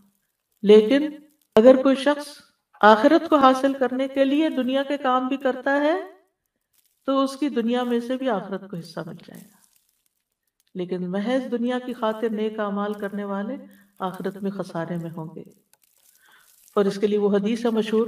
ام سلمہ کہتی ہے میں نے نبی صلی اللہ علیہ وسلم سے کہا، ہشام بن مغیرہ صلح رحمی کرتا تھا، مہمانوں کی میزبانی کرتا تھا، غلاموں کو آزاد کرتا تھا، کھانا کھلاتا تھا۔ اگر وہ اسلام کا دور پاتا تو مسلمان بھی ہو جاتا، کیا یہ اعمال اس کو فائدہ دیں گے؟ آپ نے فرمایا نہیں، وہ تو یہ سب کچھ دنیا کے لیے دیتا تھا، تاکہ دنیا میں اس کا چرچا ہو، اس کی شہرت ہو، وہ دنیا کی تعریف چاہتا تھا۔ اس نے ایک دن بھی یہ نہیں کہا، رب غفر لی خطی اتی یوم الدین، اے میرے رب، بدلے کے دن میری خطاؤں کو معاف کر دینا۔ تو ہونا کیا چاہیے؟ اس طرح کے جتنے بھی ہم کام کریں چیریٹی کے کام کریں لوگوں کی خدمت خیال رکھیں ساتھ ہی دل دل میں دعا کرتے رہیں اور دل کا دھیان اس طرف رہے۔ کہ اللہ اس کا صلح مجھے آخرت میں عطا کرنا۔ اور اس کے بدلے میرے گناہ معاف کر دینا۔ یعنی صدقہ کرنے کی ایک نیت کیا ہونی چاہیے؟ کہ اللہ اس کے بدلے میرے گناہ معاف ہو جائیں۔ کیونکہ صدقہ گناہوں کی آگ کو ٹھنڈا کرتا ہے اللہ تعالیٰ کے غضب کو ٹھنڈا کرتا ہے کہ جو بندے میں بھڑکتا ہے گناہوں کی وجہ سے رسول اللہ صلی اللہ علیہ وسلم نے فرمایا، اس امت کو عظمت و رفت دین و نصرت اور زمین میں اقتدار کی خوشخبری دے دو۔ یعنی یہ امت بہت اوپر بھی جائے گی۔ سو جو ان میں سے آخرت کا عمل دنیا کے لیے کرے گا، اس کا آخرت میں کوئی حصہ نہیں ہوگا۔ یعنی تمہیں دنیا ملے گی، لیکن ایسا نہ ہو کہ آخرت والے اعمال بھی دنیا کمانے کے لیے کرنے لگو۔ سورت نازیات میں آتا ہے، فَأَمَّا مَنْ تَغَى وَآثَرَ الْحَيَاةَ الدُّنْيَا ان الجحیم ہی المأوا جس نے سرکشی کی، دنیا کی زندگی کو ترجیح دی تو جہنم اس کا ٹھکانہ ہوگی۔ دنیا کی طلب انسان کو بازوقت گمراہی کے راستے پر لے جاتی ہے۔ یعنی انسان اللہ کے راستے پر نہیں چل سکتا جب اس کی دنیا کی خواہشات بڑھ جاتی ہیں۔ اور بعض اوقات وہ دنیا سے ایسی محبت کرنے لگتا ہے کہ آخرت کے بارے میں کوئی ذکر بھی کر دے تو اس کو برا لگتا ہے۔ کہ آپ ہر وقت موت کی باتیں کرتے ہیں جنت کی باتیں کرتے ہیں، جہنم کی باتیں کرتے ہیں، تو محض دنیا طلب کرنے سے آخرت کا نقصان ہو جاتا ہے۔ دل ٹیڑے ہونے لگتے ہیں، نیت خراب ہونے لگتی ہے نا انسان کی۔ اور پھر جو لوگ دنیا سے محبت کرتے ہیں، ان کے دل بز دل ہو جاتے ہیں، وہ بز دل ہو جاتے ہیں۔ ان کو موت سے ڈر لگنے لگتا ہے۔ ان کو چھوٹی چھوٹی پریشانی، چھوٹے چھوٹے حادثے ان کو خوف زدہ کر دیتے ہیں۔ یعنی چھوٹا سا بھی نقصان ہوتا ہے تو ان کے اوپر پہاڑ بن کے گرتا ہے، کیونکہ ان کو کیا ڈر لگ جاتا ہے ہماری دنیا بگڑنے لگی۔ لیکن جس شخص کو آخرت کا غم لگ جاتا ہے نا، دنیا میں اس کا کوئی بڑے سے بڑا بھی نقصان ہو تو وہ کیا سوچتا ہے؟ دنیا ہی تو ہے، فقیر متا ہی تو ہے۔ اگر اس پہ صبر کے بدلے اللہ اس سے آخرت میں بہتر دے دے، تو میں سٹل خسارے میں نہیں ہوں۔ میرا کچھ بھی نہیں گیا۔ اولاد کا نقصان ہو، جان، مال، کسی بھی چیز کا، ہر چیز میں مومن کیا کہتا ہے؟ انا للہ و انا راجعون۔ یہ چیز گئی ہے، ہم بھی اللہ کے ہیں۔ ہمیں بھی چلے جانا ہے۔ تو وہ اس کا غم لگا کر نہیں بیٹھ جاتا، وہ غم پالنے نہیں لگ جاتا۔ وہ پھر بھی اٹھتا ہے اور کچھ کرتا ہے، کیونکہ اس نے بھی آگے جانا ہے۔ صرف جانے والوں کے غم میں روتے رہنا ہی عقل مندی نہیں، کیونکہ ہم نے بھی جانا ہے۔ وہ چلے گئے اپنا کما کے، ہمیں بھی کچھ کمانا ہے۔ تو اس وقت کو ادھر ادھر ضائع نہیں کرنا۔ پھر اسی طرح یہ ہے کہ دنیا کی حقیر چیزوں کے بندے نہیں بننا چاہیے۔ رسول اللہ صلی اللہ علیہ وسلم نے فرمایا، ہلاک ہوا درہم کا بندہ، ہلاک ہوا دینار کا بندہ، ہلاک ہوا منقش چادر کا بندہ یعنی زیب و زینت والے کپڑے کو شوق۔ اگر اسے مل جائے تو راضی، نہ ملے تو ناراض۔ اللہ سے بھی ناراض، بندوں سے بھی ناراض۔ یہ ہے مال کے بندے۔ اللہ کرے یہ ہلاک ہو جائے سر نگو ہو کر گر پڑے۔ اگر اسے کانٹا چوبے تو کوئی نہ نکالے۔ نبی صلی اللہ علیہ وسلم نے ایسے بندے کے لیے بدعا کی۔ ابن عباس کہتے ہیں، اللہ نے دنیا کو تین حصوں میں تقسیم کیا ہے۔ ایک حصہ مومن کے لیے، ایک حصہ منافق کے لیے اور ایک حصہ کافر کے لیے۔ وہ کہتے ہیں، مومن آخرت کے لیے زیادہ راہ لیتا ہے۔ یعنی مومن دنیا، جتنی دنیا اس کے پاس زیادہ آتی ہے، اتنی وہ آخرت کی آخرت بنا لیتا ہے۔ منافق اس دنیا سے دنیا کی زینت اختیار کرتا ہے۔ یعنی منافق کے پاس جب مال و دولت آتا ہے تو وہ کیا سوچنے لگتا ہے؟ اور زیادہ گھر کی ڈیکوریشن کیسے کر لوں اور زیادہ لباس مہنگا کیسے خریدوں؟ اور زیادہ یعنی وہ اپنے مال کا ایک بڑا حصہ صرف دنیا کی زیب و زینت میں ہی لگاتا چلا جاتا ہے۔ اور کافر خوب عیش کرتا ہے۔ یعنی بس دنیا اس کے لیے عیش و عشرت کا مقام ہے۔ دنیا اس لیے کماتا ہے تاکہ دنیا میں عیش کر سکے۔ اور آپ اپنے آگے پیچھے دائیں بائیں ہر طرف دیکھتے ہیں۔ کہ لوگ بہت سا کام، بہت سی محنت کیوں کرتے ہیں؟ تاکہ ایک لگزوریس لائف گزار سکیں۔ لگزوریس لائف ایک ہوتی ضرورت کی زندگی، کہ اللہ تعالیٰ مشکل سے بچا کے آسانیت، آسانی والی زندگی دے تاکہ انسان اپنی عبادت، اپنے کام، اپنے سارا کچھ اچھے سے کر سکے۔ اور ایک ہے عیش و عشرت والی زندگی، کہ زیادہ کام ہو تاکہ زیادہ عیش و عشرت ہو۔ اور یہی وجہ ہے کہ آپ دیکھیں ایسے لوگوں کا جو آخرت سے غافل ہو کر جیتے ہیں، ان کے مال کا بڑا حصہ کہاں جاتا ہے؟ سوچئے کہاں جاتا ہے؟ انٹرٹینمنٹ یعنی کھانا صرف ضرورت کا کھانا نہیں، بلکہ کھانے میں ایسی چیزوں کا انتخاب جو صرف ایک زبان کا ٹیسٹ ہو یا ایک انٹرٹین کرتی ہوں۔ پھر اس کے بعد اوقات اگر فارغ ہیں تو وہ کس کام میں جاتے ہیں؟ نہیں پتا۔ ووکیشن اور ووکیشن میں بھی ایسی جگہوں کا انتخاب جہاں نہ انسان اپنی نگاہوں کی حفاظت کر سکے اور نہ ہی اپنے دین کی حفاظت کر سکے اور نہ اپنی۔ اور پھر اسی طرح باقی لباس اور باقی چیزیں۔ تو مومن دنیا کی عیش و عشرت کے پیچھے نہیں ہوتا، وہ اپنے وقت کو قیمتی سمجھتا ہے۔ وہ اگر ووکیشن پر جاتا بھی ہے تو غور و فکر کے لیے وہ ایسی جگہوں کا انتخاب کرتا ہے کہ جہاں وہ جا کر اپنے ایمان میں اور اضافہ کر کے آئے، جہاں وہ کچھ نیا سیکھ کر آئے۔ یعنی مومن کے لیے کہیں وکیشن پہ جانا منع نہیں ہے اور بلکہ کہا گیا سیرو فی الارض زمین میں چلو پھرو۔ دیکھو کیسے ہوا پچھلی قوموں کے مجرموں کا انجام۔ چلو پھرو اللہ کی نشانیوں پر غور کرو۔ ایسی ووکیشن منع نہیں ہے کیونکہ اس میں ہم کس کے لیے حصہ لے رہے ہیں؟ آخرت کے لیے حصہ لیں۔ لیکن اگر صرف عیش و عشرت جیسے جو وہ لوگ جن کے دل اللہ کے خوف سے خالی ہوتے ہیں ویسی جگہوں پر زنا اور شراب اور ہر طرح کے حرام کام کرنے کے لیے ان کو کھلی چھٹی ملتی ہے۔ تو اس چیز کی پوچھ ہوگی اس پہ پکڑ ہے۔ اور ایک اور بہت سوچنے کی بات، وہ کیا؟ مالک بن دینار کہتے ہیں، آپ دنیا کے لیے جتنا غم کریں گے، اسی حساب سے آپ کے دل سے آخرت کی فکر نکل جائے گی۔ کیونکہ ایک دل ہے نا، آپ نے اس میں کیا بھرنا ہے؟ اگر دنیا کا غم بھر لینا ہے تو آخرت کا غم نکل جائے گا۔ جتنا جتنا دنیا کا غم بھرے جا رہے ہیں، بھرے جا رہے ہیں، آخرت کا غم نکلے جا رہا ہے، نکلے جا رہا ہے۔ اور اگر آپ آخرت کا غم لگا لیں گے تو دنیا کا غم نکلنا شروع ہو جائے گا۔ دنیا کے غموں سے نبٹنے کا یہی طریقہ ہے۔ ورنہ یہ دنیا اپنے ہر اچھے برے طریقے سے آپ کو غمگینی کرتی۔ بہت ساری نعمتیں مل جائیں۔ وہ بھی غمگین کر دیتی ہیں کہ یہ پرانی ہو جائیں گی، یہ ختم ہو جائیں گی، یہ ان چیزوں کو ملنا بھی غم۔ اولاد مل جاتی ہے تو یہ تھوڑی ہوتا کہ صرف آپ خوش ہوتے ہیں۔ جتنے خوش ہوتے ہیں نا، اسے دس سے زیادہ فکر کرتے ہیں اور غمگین بھی ہوتے ہیں۔ اسی طرح مال، کوئی دنیا کی کوئی بھی چیز لے، ہے جو گٹیا ادنا کم تر تو پھر اس کی کوئی بھی چیز غم، رنج، فکر، کانٹوں سے پاک نہیں ہے۔ یہاں ہر چیز کے ساتھ مسائل ہیں۔ اس لیے پھر انسان آخرت کا فکر لگا لے، آخرت کا غم لگا لے۔ اور جب آخرت کے غم ہوں گے تو انسان کہے گا، یہ دنیا، یہ چار دن کی بات ہے۔ ہے مشکل وقت، گزر جائے گا، نکل جائے گا، ختم ہو جائے گا۔ دنیا میں نہ کوئی بیماری ہمیشہ رہنے والی ہے، نہ کوئی مسئلہ ہمیشہ رہنے والا ہے، نہ کوئی بھوک، افلاس ہمیشہ رہنے والا ہے۔ کچھ بھی ہمیشہ رہنے والا نہیں، یہ سب کچھ موت کے ساتھ ختم ہو جائے گا۔ لیکن موت کے بعد کوئی مسئلہ پیش آ گیا تو آپ اکیلے ہیں بھگتنے کے لیے۔ وہاں کوئی ساتھ نہیں اور وہ ختم بھی نہیں ہونے والا۔ وہ پھنس گئے مصیبت میں۔ ایک جنازہ جا رہا تھا تو آپ نے فرمایا مستریح ہو مستراح ہو مستریح یا راحت پانے والا مستراح جس سے راحت پائی جائے۔ مستریح مومن ہوتا ہے جو دنیا کے غموں فکروں پریشانیوں تکلیفوں، بیماریوں، ہر چیز ہر چیز سے نجات پا کر اللہ کی رحمت میں ڈھانپا جاتا ہے۔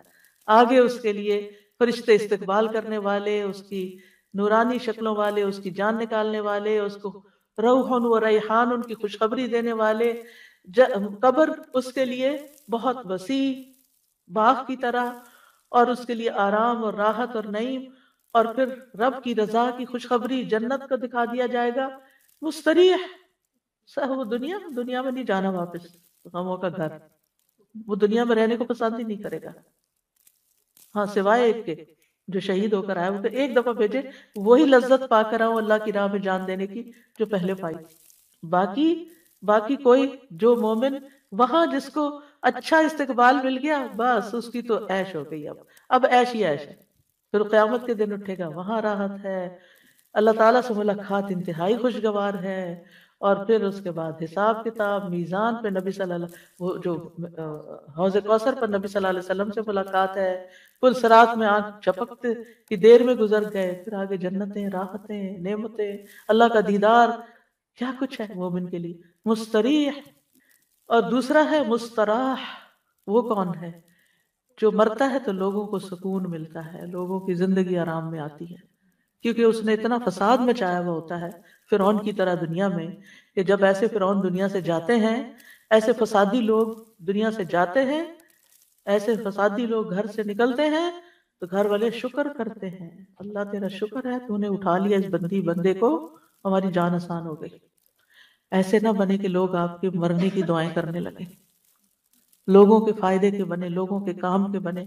کچھ لوگ ایسے ہوتے ہیں جن کی زندگیاں گھر والوں نے حرام کی ہوئی ہوتی اور بعض اوقات صرف ایک خاتون یا ایک مرد کی وجہ سے وہ زندگی حرام ابیوسو ہسبینڈ یعنی کوئی کام سیدھا نہیں، کوئی بات سیدھی نہیں۔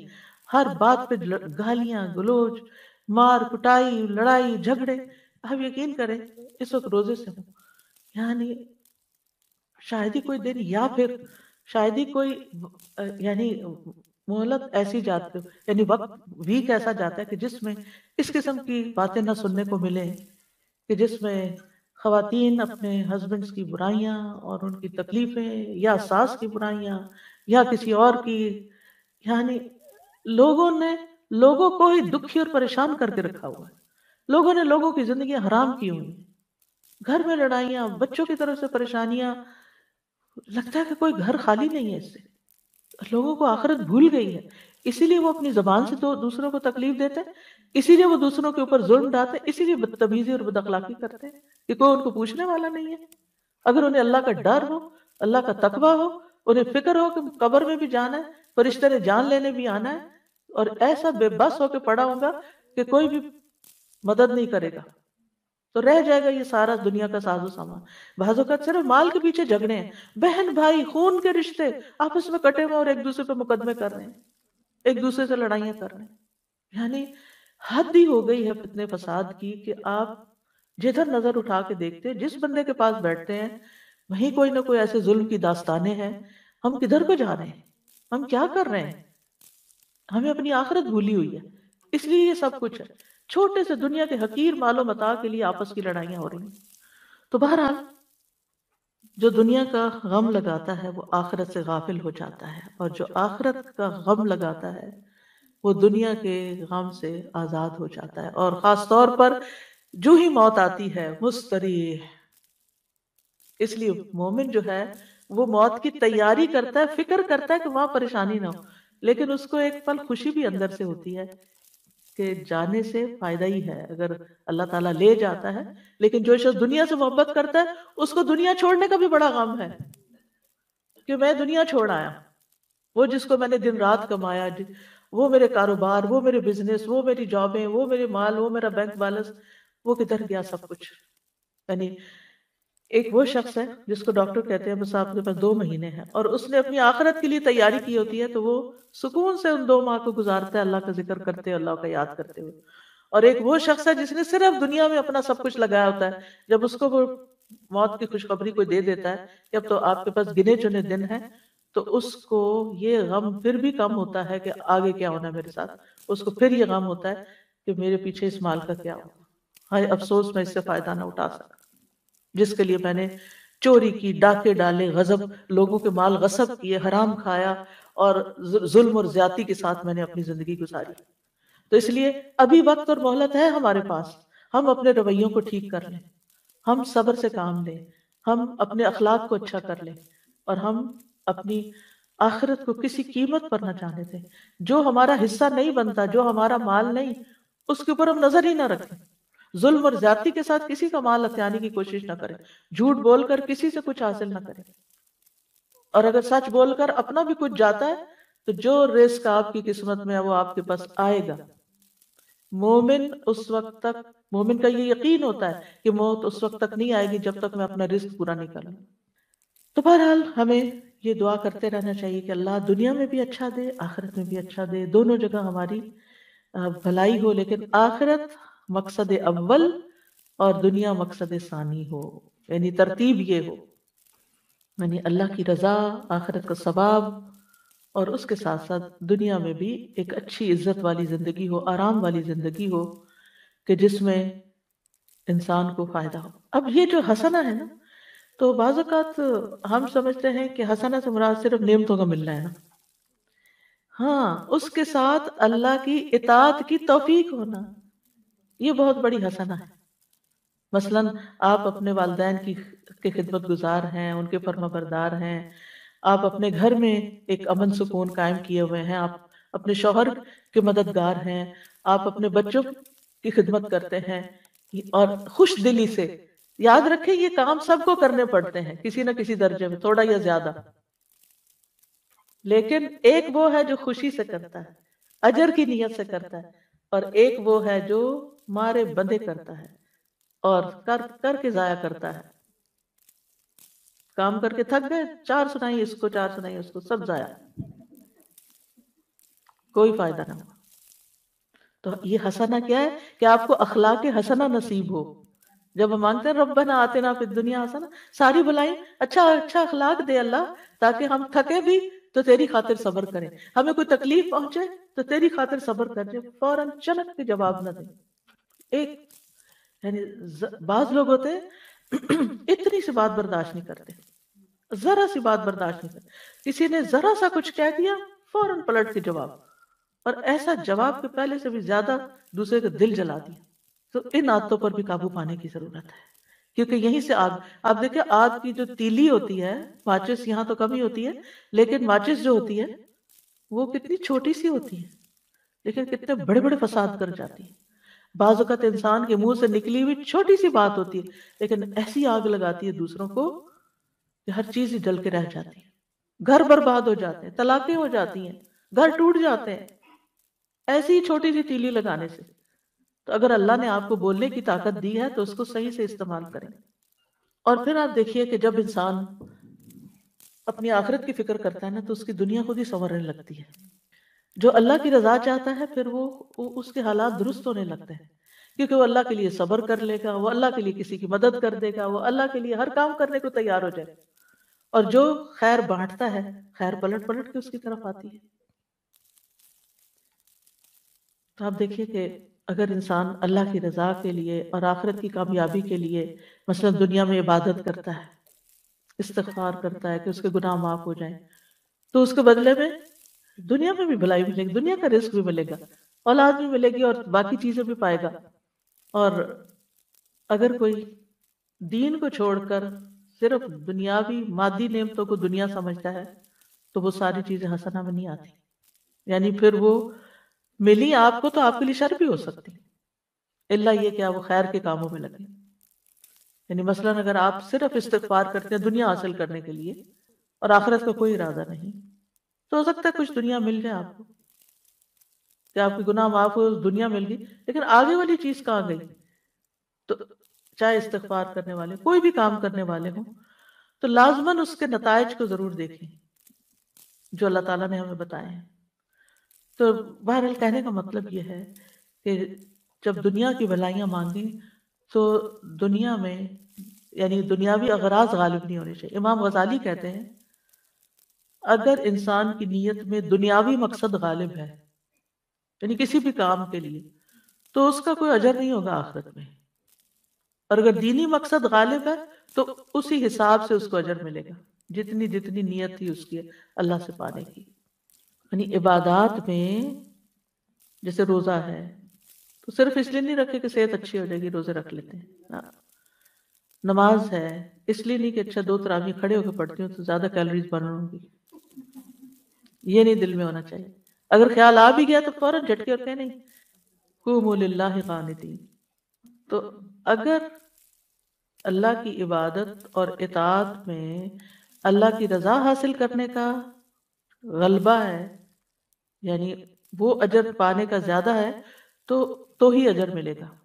ورنہ ورنہ زائد۔ مثلا حجاج کے لیے اجازت ہے کہ وہاں پر بزنس بھی کر لیں۔ لیسا علیکم جناح ان تبتغوا فضلا من ربکم۔ حج کے لیے جا رہے ہو، اگر کوئی کچھ خرید و فروخت کرنی ہے تو کر سکتے ہو، ایسا منع نہیں ہے۔ یعنی بعض لوگ بازار جانے کو انتہائی کنڈیم کرتے ہیں، ایسا نہیں ہے۔ آپ جا سکتے ہیں، آپ کی ہمت ہے تو آپ جائیں، آپ کو وقت ملا تو آپ جائیں۔ آپ اگر کچھ خریدتے ہیں، کچھ یہاں سے لے جاتے ہیں سیل کرنے کے لیے، سیل کر کے کچھ نفع کما کے، اس سے کچھ اپنے خرچ پورے کرتے، کوئی منع نہیں۔ لیکن اگر آپ جاتے ہی صرف اس نیت کے لیے ہیں آپ کہتے ہیں مجھے اپنا بزنس کرنا اور میں حج بھی کر لوں گا۔ تو یہ نہیں ہونا چاہیے۔ ٹھیک ہے نا؟ یعنی عبادت کے جو دنیاوی فائدے ہیں، وہ ہمارا مقصد اول نہیں ہونا چاہیے۔ وہ مقصد ثانی ہونا چاہیے۔ ایمان والوں کے لیے تو ہر عمل کے نتیجے میں دنیا اور آخرت دونوں کی خیر آتی ہے۔ ایمان والوں کو یہ فائدہ نصیب ہوتا ہے۔ وکیل للذین اتقوا ماذا انزل ربکم قالوا خیرا للذین احسنوا فی هذه الدنیا حسنا. للذین احسنوا فی هذه الدنیا حسنا. ولدار الاخرت خیر. ولنعم دار المتقین جو لوگ تقوی اختیار کرتے ہیں، جنہوں نے تقوی اختیار کیا، ان سے کہا گیا، تمہارے رب نے کیا نازل فرمایا؟ تو انہوں نے کہا، بہترین بات، ان لوگوں کے لیے جنہوں نے بھلائی کی، اس دنیا میں بڑی بھلائی ہے اور آخرت کا گھر بہت بہتر ہے۔ اور یقیناً تقوی والوں کا تقوی والوں کے لیے اچھا گھر ہے یعنی آخرت کا گھر۔ اللہ کے دوستوں کے لیے دنیا اور آخرت دونوں کی خوشخبریاں ہوتی ہیں۔ اللہ ان اولیاء اللہ لا خوف علیہم ولا هم يحزنون سنو، اللہ کے دوستوں کو نہ کچھ خوف ہوگا نہ غمگین ہوں گے۔ کون ہے اللہ کے دوست؟ اللہ دین آمنو وکانو یتقون، وہ جو ایمان لائے اور وہ تقوی اختیار کرتے ہیں۔ لہم البشرا فی الحیات الدنیا، ان کے لیے دنیا کی زندگی میں بھی خوشخبری ہے۔ وفی الاخرہ، آخرت میں بھی خوشخبریاں ہیں۔ لا تبدیل لکلمات اللہ اللہ کی باتیں نہیں بدلتی اللہ کی باتیں بالکل سچی ہیں۔ ذالک هو الفوز العظیم، یہ ہے عظیم شان کامیابی۔ یہ سب سے بڑی کامیابی۔ اور یہ مومن کو ہی ملتی ہے۔ کیونکہ مومن کے لیے دنیا کی نعمتیں حرام تھوڑی ہیں۔ قل من حرم زینت اللہ التي اخرج لعباده والطیبات من الرزق قل هي للذین آمنوا فی الحیات الدنیا خالصتا یوم القیامہ کہہ دیجیے اللہ کی وہ زینت جو اس نے اپنے بندوں کے لیے پیدا کی اور رزق میں سے پاکیزہ چیزیں کس نے حرام کی؟ کہہ دیجیے یہ چیزیں دنیا کی زندگی میں ان لوگوں کے لیے جو ایمان لائے اور قیامت کے دن بھی خالصتا ان کے لیے ہوں گی۔ اور پھر آپ دیکھیں کہ جب یہ دونوں دعائیں آپ مانگتے ہیں تو اللہ تعالیٰ دونوں ہی قبول کرتا ہے۔ جابر کہتے ہیں، رضی اللہ عنہ، میں نے نبی صلی اللہ علیہ وسلم سے سنا، آپ فرماتے تھے، رات میں ایک گھڑی ایسی ہے، جو مسلمان بندہ اس کو پا لیتا ہے، اس میں وہ دنیا اور آخرت کی کسی بھی خیر کا سوال کرتا ہے، اللہ تعالیٰ وہ بھلائی اس کو ضرور عطا کر دیتا ہے۔ اس لیے رات کو جب سائڈ بدلے، کچھ نہ کچھ مانگ لیا کریں۔ کیا پتا یہی وہ گھڑی ہو۔ تحجد کے لیے اٹھیں پھر دعائیں مانگیں یعنی اللہ سے اچھی امید رکھ کر دنیا اور آخرت دونوں ہی پھر اسی طرح آپ دیکھیں کہ کسی کو دنیا دنیا کی دعا دینا منع نہیں خالی دنیا کی دعا دینا منع نہیں۔ زیادہ بہتر ہے کہ آپ اس طرح دعا دیا کریں۔ اللہ تعالیٰ آپ کو دنیا اور آخرت کی تمام بلائیاں عطا کرے۔ اور یہ اسی دعا کا ترجمہ ہے بیسیکلی ٹھیک ہے۔ لیکن جب آپ دنیا کی بھی بھلائی کی کسی کو دعا دینا تو اس سے مقصد یہی ہو کہ یہ نعمتیں اس کو جو ملے اس سے ہی اپنی آخرت کما لے یہ ٹولز ہیں آخرت کے لیے۔ حضرت انس کہتے ہیں، نبی صلی اللہ علیہ وسلم ہمارے ہاں تشریف لائے۔ وہاں میرے، میری والدہ اور میری خالہ ام حرام کے سوا کوئی نہیں تھا۔ یعنی دو مرد، دو عورتیں۔ نبی صلی اللہ علیہ وسلم اور حضرت انس اور دو خالہ یعنی امی اور خالہ۔ آپ نے فرمایا، کھڑے ہو جاؤ، میں تمہیں نماز پڑھاؤں۔ فرض نماز کے وقت فرض نماز کے وقت کے علاوہ کی نماز تھی نفل نماز سے۔ تو آپ نے جماعت سے نماز پڑھائی ہوتی، جیسے آج کل ہم تراویح پڑھتے ہیں۔ اور کچھ لوگ جماعت مسجد میں پڑھ کے آ جاتے ہیں گھر اور پھر گھر تراویح پڑھ لیتے ہیں، ایسا بھی کیا جا سکتا ہے۔ پھر آپ صلی اللہ علیہ وسلم نے ہمارے سب گھر والوں کے لیے دنیا اور آخرت کی تمام بھلائیوں کی دعا کی۔ یہ آپ کی سنت، آپ کا طریقہ ہے نا۔ کسی کے گھر جائیں تو اس گھر میں آپ اس طرح نماز بھی پڑھ سکتے ہیں اور گھر والوں کو دعا بھی دے سکتے ہیں۔ اس کے بعد میری ماں کہنے لگی، اللہ کے رسول صلی اللہ علیہ وسلم، یہ آپ کا چھوٹا سا خدمت گزار ہے، اس کے لیے خصوصی دعا کریں یعنی حضرت انس۔ تو آپ نے میرے لیے ہر بھلائی کی دعا کی۔ میرے لیے آپ نے جو دعا کی، اس کے آخر میں یہ تھا، اللہم اکفر مالہ و ولدہ و بارک لہو فی اے اللہ، اس کا مال اور اس کی اولاد زیادہ کر اور اس کے لیے ان میں برکت ڈال دے۔ یعنی آخر میں دعا کا یعنی صرف دنیا کی یہ دو تین چیزیں مانی تو یہ دعا دینے کا طریقہ بھی آنا چاہیے۔ یعنی دوسروں کو ہم سب سے بہترین تحفہ جو دے سکتے ہیں وہ دعا کا تحفہ ہے۔ اور دل سے دینی چاہیے، صرف تکلفن اور رسمن نہیں ہونی چاہیے۔ اور پھر یہ کہ دنیا اور آخرت کی ہر بھلائی کی دعا کرنی چاہیے۔ اور اس کے علاوہ کوئی خاص دعا آپ کسی کو دینا چاہے تو وہ بھی دے سکتے ہیں۔ اب دنیا کی بھلائی میں کیا کیا چیزیں شامل ہیں خاص طور پر؟ یعنی پہلے کچھ اس کا ذکر تو ہو چکا ہے اجمالی طور پر۔ لیکن اب ٹو دا پوائنٹ چند باتیں کروں گی۔ سب سے پہلے یہ کہ سب سے بڑی دولت اور نعمت دنیا میں اسلام ہے، دین ہے۔ الحمدللہ، اللہ نے ہمیں یہ دولت عطا کی ہے۔ ہمیں مسلمان پیدا کیا، ہمیں دین دیا۔ اس کے لیے ہمیں اللہ سے دعا کرنی چاہیے کہ اللہ ہمیں دین کا نفمند علم عطا فرمائے۔ یہ سب سے بڑی دولت ہے۔ ایمان کے بعد جو دولت مانگنی چاہیے، وہ ربی زدنی علمہ ہے۔ یہ مل گیا آپ کو؟ آپ کے علم میں اضافہ ہوتا گیا تو نتیجہ کیا ہوگا؟ آپ کے نیک مال زیادہ ہوتے جائیں گے۔ علم سرمایہ کی طرح ہے۔ جتنا مال زیادہ ہوگا نا، اتنا آپ زیادہ خرید سکتے ہیں کوئی چیز۔ جتنا علم زیادہ ہوگا، اتنی آپ کو نیکیاں کرنے کے زیادہ طریقے پتہ چل جائیں گے کہ کیا کیا کرنا ہے۔ اس لیے علم حاصل کرنے کے حریص ہونا چاہیے اور علم کی مجالس کا حریص ہونا چاہیے۔ یہ دنیا کی بہت بڑی حسنہ ہے، بہت بڑی بھلائی ہے جس کو یہ نصیب ہو جائے۔ کہ اس کو اللہ تعالیٰ موقع دے دے، وقت دے دے، توفیق دے دے کہ وہ علم کی مجلس میں حاضر ہو جائے اور وہاں سے کچھ لے کے اٹھے، کوئی خزانہ پا کے جائے اور اس پر پھر عمل بھی کرے۔ اس کے بعد سب سے بڑی دولت، نیک اعمال کی توفیق ملنا۔ نبی صلی اللہ علیہ وسلم نے فرمایا، نیک عمل کرو۔ ہر شخص کو ان اعمال کی توفیق دی جاتی ہے جن کے لیے وہ پیدا کیا گیا۔ جو شخص نیک ہوگا، اسے نیک، نیکوں کے عمل کی توفیق ملی ہوتی اور جو بدبخت ہوتا ہے، اسے بدبختوں کے عمل کی توفیق ملی ہوتی۔ آپ دیکھیں بہت سے لوگ علم رکھتے ہیں مگر عمل کوئی نہیں کرتے۔ باتیں بہت کرتے ہیں، لیکن جب عمل کا وقت آتا ہے، انہیں سمجھ نہیں آتی انہوں نے کیا کرنا۔ تو اس لیے حکمت مانگنی چاہیے کہ اللہ ہمیں رائٹ ٹائم پہ رائٹ ڈیسیجن کرنے کا کی توفیق عطا کر کہ کس وقت کرنا کیا ہے ہمیں۔ اپرچونٹیز اویل کرنے کی توفیق دے۔ کیونکہ بعض اوقات ہمارے گھر کے سامنے دریا بہ رہا ہوتا ہے اور ہم پیاسے بیٹھے ہوتے ہیں، کیونکہ ہمیں توفیق نہیں ہوتی۔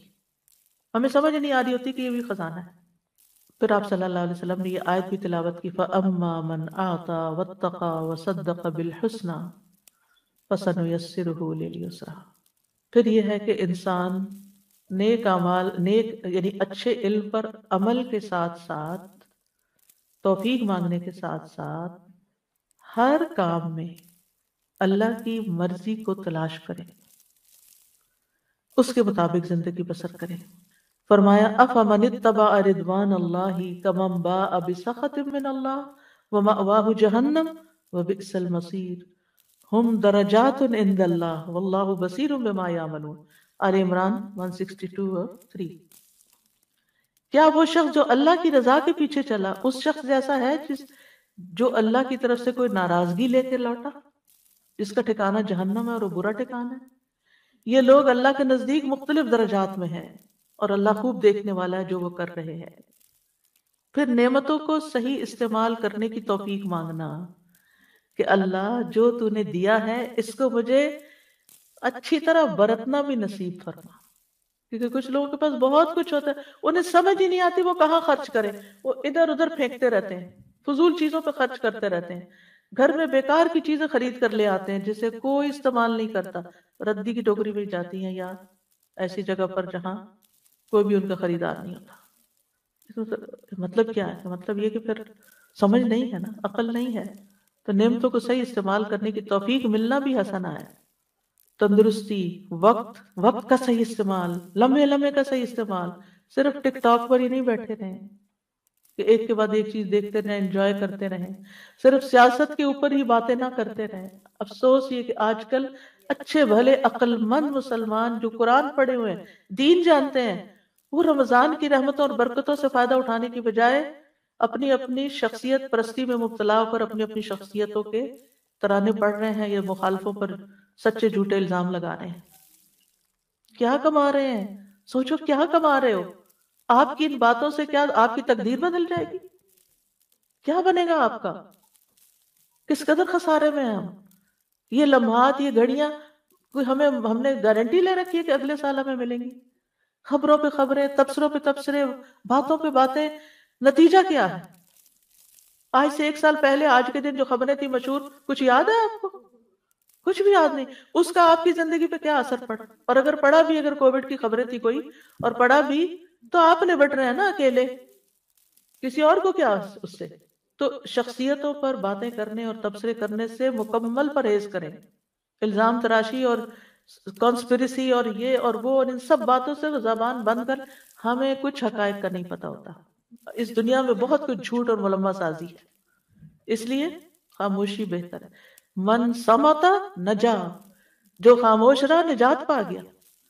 آپ کی ایک بات جو آپ نے سوشل میڈیا پہ غلط کہی اور اس کو ہزار لوگوں نے آگے پھیلا دیا، تو کیا ہوگا قیامت کے دن؟ کیسی پکڑ ہوگی؟ کہ وہ ہزار لوگوں کا بھی دین آپ کو پڑ جائے گا۔ تو اس لیے جو کرنے کا کام ہے، اس کی طرف توجہ کریں۔ پھر اسی طرح بدن میں آفیت مانگنا، نیک بیوی اور اچھا پڑوسی مانگنا، اچھی سواری اور کشادہ گھر ملنا، یہ بھی انسان کی سعادت مندی کی علامت یہ دعا کرنے میں کہ اللہ اللہ مجھے اچھی گاڑی دے، اس سے بہتر دے، اس سے اچھا گھر دے کہ جو میرے لیے زیادہ بہتر ہو تیرے دین کے کام کے لیے۔ پھر اسی طرح جو ملا ہے، اس پر قناعت کرنا۔ اس پر قناعت کنٹینٹمنٹ یہ آفیت یہ چیز انسان کے لیے بھلائی کی ہے۔ پھر صبر اور شکر کرنے والا دل اور ذکر کرنے والی زبان مانگنا۔ مال کو اچھے کاموں میں خرچ کرنے کی توفیق مانگنا۔ جب بھی مال آئے نا، ایک عادت بنا لیں جب کچھ آپ کے پاس آئے۔ فوراً نیت، اللہ ایک دعا کی۔ اللہ، اسے بہترین جگہ لگوانا۔ بہترین جگہ استعمال کروں جو تجھے راضی کر دے۔ آپ دیکھیں گے اللہ تعالیٰ آپ کو ایسے ایسے رستے دکھائے گا، آپ حیران ہو جائیں گے۔ پھر اپنے مال اسباب کو آخرت کے استعمال کی توفیق مانگنا۔ دنیا کو اس کے جائز حق میں استعمال کرنے کی توفیق مانگنا۔ اور دنیا کی زندگی سے آخرت کمانے والا بننا۔ پھر موت کے، آخرت کی بھلائی میں کیا ہے؟ موت کے وقت آسانی مانگنا۔ یا اللہ، موت کی سختیاں آسان کر دینا۔ پھر موت کے وقت کی خوشخبریاں ملنا۔ قبر کشادہ ہونا۔ قبر کی نعمتیں ملنا۔ حشر کا دن آسان ہونا۔ لا يحزنهم الفزع الاکبر۔ ایسے لوگ بھی ہوں گے جو اس بڑی گھبراہٹ کے دن بالکل گھبراہٹ میں نہیں ہوں گے، امن چین میں ہوں گے۔ حشر کے دن معافی کا پروانہ مل جانا، تمہیں معاف کر دیا گیا، جاؤ جنت میں۔ حوض کوثر کا پانی مل جانا۔ عرش کا سایہ ملنا۔ نامہ اعمال دائیں ہاتھ میں ملنا۔ پل سرات تیزی سے عبور کرنے کی توفیق مل جانا۔ جنت میں داخلہ اور جہنم سے بچاؤ مل جانا۔ جنت میں رب کا دیدار نصیب ہونا۔ کیونکہ اہل جنت کو اللہ کے دیدار سے زیادہ کوئی چیز عزیز نہیں ہوگی۔ سب نعمتیں بھول جائیں گے جب اللہ کو دیکھیں۔ اللہ ہمیں ان کو شامل کر لیں ربنا آتنا في الدنيا حسنة وفي الآخرة حسنة وقنا عذاب النار۔ اللهم إني أسألك العافية في الدنيا والآخرة. اللهم إني أسألك العفو والعافية في ديني ودنياي وأهلي ومالي. اللهم استر عوراتي وآمن روعاتي. اللهم احفظني من بين يدي ومن خلفي وعن يميني وعن شمالي. وأعوذ بعظمتك أن أغتال من تحتي. اللهم اغفر لنا وارحمنا وارزقنا. اللهم إنا نعوذ بك من ضيق الدنيا وضيق يوم القيامة. اللهم إنا نعوذ بك من الكسل والهرم وسوء الكبر وفتنة الدنيا وعذاب القبر. اللهم أصلح لي ديني الذي هو عصمة أمري. وأصلح لي دنياي التي فيها معاشي. وأصلح لي آخرتي التي فيها معادي. واجعل الحياة زيادة لي في كل خير واجعل الموت راحة لي من كل شر. اللهم إني أسألك خير المسألة وخير الدعاء وخير النجاح وخير العمل وخير الثواب وخير الحياة وخير الممات. وثبتني وثقل موازيني وحقق إيماني وارفع درجاتي وتقبل صلاتي واغفر خطيئتي وأسألك الدرجات العلا في الجنة. اللهم إني أسألك فواتح الخير وخواتمه وجوامعه وأوله وظاهره وآخره وظاهره وباطنه والدرجات العلا من الجنة. آمين. اللهم إني أسألك خير ما آتي وخير ما أفعل وخير ما أعمل وخير ما بطن وخير ما ظهر والدرجات العلا من الجنة. آمين. اللهم إني أسألك أن ترفع ذكري وتدع وزري وتصلح أمري وتطهر قلبي وتحسن فرجي وتنبر قلبي وتغفر لي ذنبي وأسألك الدرجات العلا من الجنة. آمين. اللهم إني أسألك أن تبارك في نفسي وفي سمعي وفي بصري وفي روحي وفي خلقي وفي خلقي وفي أهلي وفي محياي وفي فمه ومهدي وفي محياي وفي مماتي وفي أملي فتقبل حسناتي وأسألك الدرجات الأولى من الجنة. آمين. ربنا تقبل منا إنك أنت السميع العليم. وتب علينا إنك أنت التواب الرحيم. وصلى الله تعالى على خير خلقه محمد وعلى آله وأصحابه وأهل بيته أجمعين برحمتك يا أرحم الراحمين.